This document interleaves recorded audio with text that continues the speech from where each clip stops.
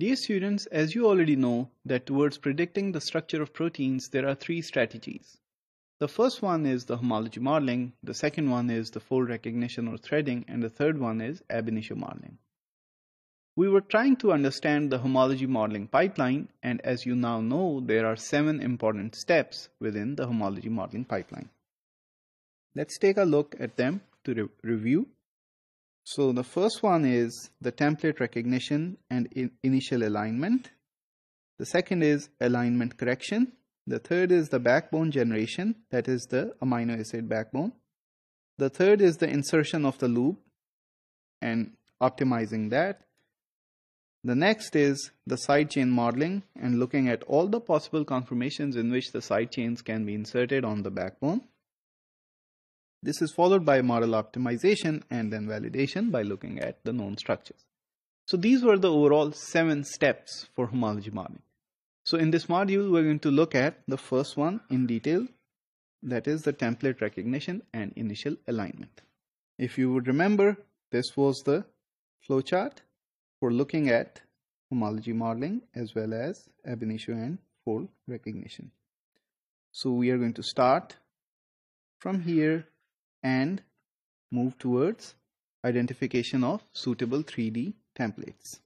So as you can see, so we started from the amino acid sequence of target structure and we now wanted to identify suitable 3D templates which could be used for the prediction of the structure.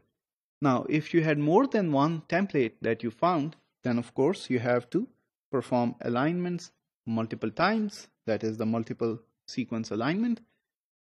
While if you found one template, all you have to do is align the template and the target sequence.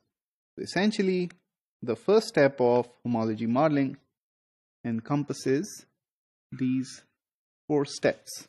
So let's start. So the first step is to compare the sequence of the unknown protein. So the unknown protein is the protein which has the unknown structure.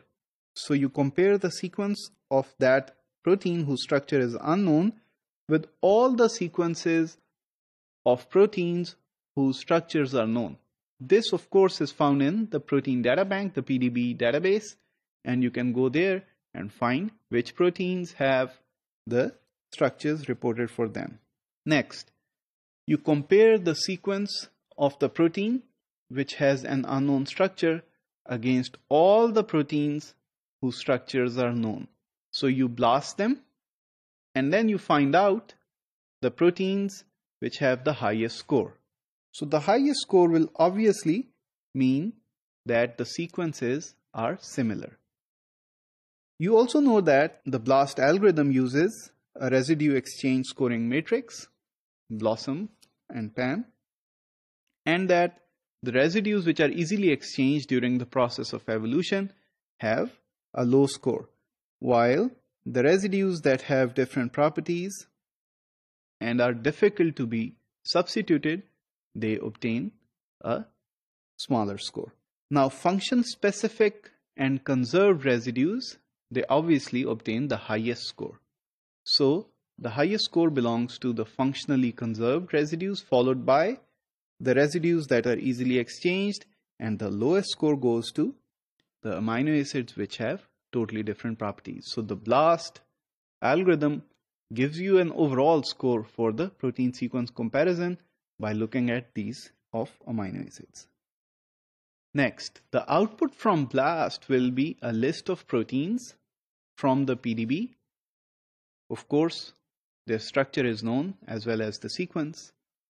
And then you have to see which of these proteins are most similar to the protein for which you are trying to predict the structure. So for that, you need to improve the alignment and the BLAST algorithm uses a residue exchange matrix and inserts penalties for gaps and mismatches. Now, the target sequence is sent to the BLAST server which searches the PDB and the list of the templates and their alignments.